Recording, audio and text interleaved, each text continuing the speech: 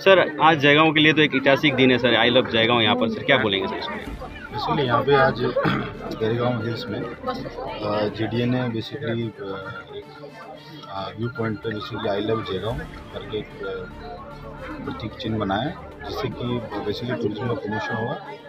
तो आशा करता हूँ कि इसको लेके बेसिकली प्रचार प्रसार मीडिया की तरफ़ से भी होना चाहिए, क्योंकि बहुत से लोगों को पता नहीं कि जयगांव हिल्स में इस तरह का एक सुंदर स्थान है जहाँ पे लोग आ सकते हैं एंजॉय कर सकते हैं और पूरा एकदम ओपन एयर है, एकदम नेचुरल इस प्लेस पे। तो आशा कर रहा हूँ कि इस तरह का आप एक प्रचार कीजिए इससे, जिससे लोगों को इस स्पोर्ट के बारे में पता चले और मैं विशेष रूप से जी चेयरमैन है श्री रविंद्र प्रसाद शर्मा, उनकी टीम को यहाँ पे जो उपस्थित हैं, पंचायत समिति से मेंबर उपस्थित है जे से, विभिन्न संगठन से उपस्थित हैं।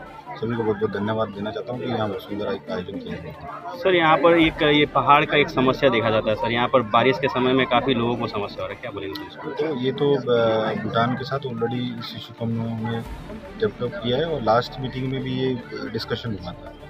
तो होपफुली हम लोग आशा कर रहे हैं कि नेक्स्ट मीटिंग से पहले इस नेक्स्ट बारिश सीज़न से पहले इस समस्या का समाधान करने की हम लोग कोशिश करेंगे सर जयगांव मेन टाउन जो है सर वो लाइट जो है वो नहीं जल रहा है। बीच में भी जे ने प्रयास किया था फिर वापस से बंद हो गया सर। ये एक बार ये तो लोकल इशू है। मुझे लग रहा है जे चेयरमैन ज़्यादा अच्छे से बोल पाएँगे। इस तरह का कोई अगर हम लोगों का कोई इनिशिएटिव जुड़ता ज़रूरत है तो वो हम लोग को फ्लैग कर सकते हैं। सर ये तो लोकल इशू है। हमारा जो हमारे जे डी चेयरमैन साहब यहाँ पे हैं वो इसके बारे में ज़्यादा अच्छे से बोल हैं। सर टूरिज़्म को किस तरह बढ़ावा मिलेगा? अंतर्राष्ट्रीय सीमा है ये देखो इंटरेस्ट सीमा आप देख पा रहे हो कि यहाँ पे एक सुंदर रिजॉर्ट है।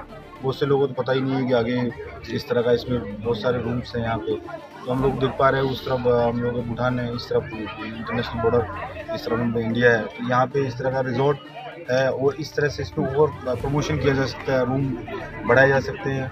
बाकी आसपास जो होम स्टे हैं उन पर फोकस किया जा सकता है, क्योंकि होम स्टे पर तो गवर्नमेंट इंडिविजुअल देख पा रहे हैं, यहाँ पे बहुत सारे सुंदर सुंदर घर है जिन लोग तो वो लोग होम स्टे को प्रमोट कर सकते हैं। होम स्टे से प्रमोशन करने के लिए गवर्नमेंट का स्टेट गवर्नमेंट का पॉलिसी है। आपके हाल हिल्स के आसपास जिन लोगों का घर है, वो होम स्टे में कन्वर्ट कर सकते हैं। हम लोग उनका रजिस्ट्रेशन कर देंगे। रजिस्ट्रेशन करने से गवर्नमेंट उन लोगों का एक इंसेंटिव भी मिलता है। इंसेंटिव लोग और सर्टिफिकेट मिल जाता है, उससे एक रिकॉग्नाइज हो जाता है वो। वो किया जा सकता है। लोकल लोग जो यहाँ पे ऑलरेडी इस टूरिज़्म से जुड़े हुए हैं उनके लिए जब टूरिज़्म के ऑलरेडी हम लोगों ने 60 लोगों को ऑलरेडी ट्रेनिंग दिया है, और वो लोग इंटरेस्ट है इंटरेस्टेड है जो लोकल गाइड जो यहाँ के बारे में जानते हैं, उन लोगों को हम ट्रेनिंग दे देंगे। इस तरह का इंफ्रास्ट्रक्चर से लेके मैन पावर डिप्लॉयमेंट से लेके होम स्टे से लेके ऑटोमेटिकली टूरिज़्म का प्रमोशन होगा। और ये तो इंटरनेशनल बॉर्डर है यहाँ पे, आपको पता है कि ये जयगांव भूटान का एंट्री पॉइंट है। तो बाहर से कोई भी अगर इंडिया में आ रहा है, अगर बाई रूट जा रहा है तो जनरली इधर से ही जाएगा वो। तो यहाँ का लोकल जो होटल इंडस्ट्री है, यहाँ पे टैक्सी एसोसिएशन हो सकता है, बाकी टूरिस्ट जो है, उन लोगों को इस तरह का रेस्टोरेंट है।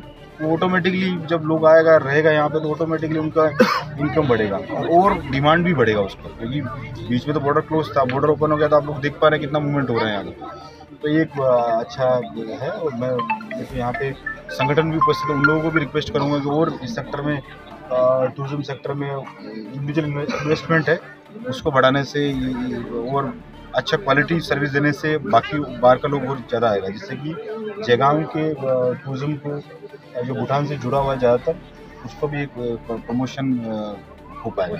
सर आई लव जयगांव का जो बोर्ड लगाया गया है। आज ये इस क्षेत्र का विकास में किस प्रकार से भूमिका निर्वाह करेंगे?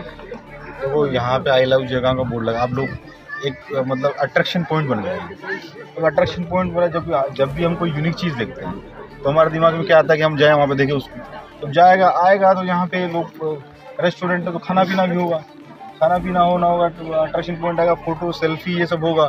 तो ऑटोमेटिकली तो वो एक अट्रैक्शन पॉइंट हो जा रहा है। और इसको बेस करके आसपास का जो लोग है जिनका छोटा रेस्टोरेंट है घर है होम स्टे उन लोगों का भी तो इनकम होगा। तो ये बेसिकली कोरिलेटेड है उससे जुड़ा है तो इसका अगर प्रचार कीजिए आप लोग तो लोकल जो यहाँ पे मीडिया है आप लोग भी लोगों को बताइए ताकि जो जब जो भूटान जा रहा है एक बार विज़िट करके जाए यहाँ पे जयगांव हिल्स आराम से सर यहाँ पर कोई चिल्ड्रन पार्क नहीं है सर। पार्क को लेकर सब कुछ पार्क देखो यहाँ पे यहाँ पे जैसे मैंने बोला ऑलरेडी जेडी चेयरमैन साहब है। अगर इस तरह का कोई प्रपोजल हमारे पास आता है और ये आप लोगों को कोई नॉलेज में तो हम लोग को दीजिए हम लोग इनिशिएटिव लेंगे उसमें। जेडी चेयरमैन साहब यहाँ पे हैं मैं उनको रिक्वेस्ट करूँगा अगर इस तरह का आता है तो हम लोग कर देंगे कोई दिक्कत नहीं। थैंक